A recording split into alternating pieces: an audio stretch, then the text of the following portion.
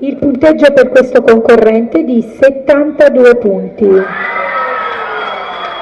Può entrare ora in arena Meconi Alessandro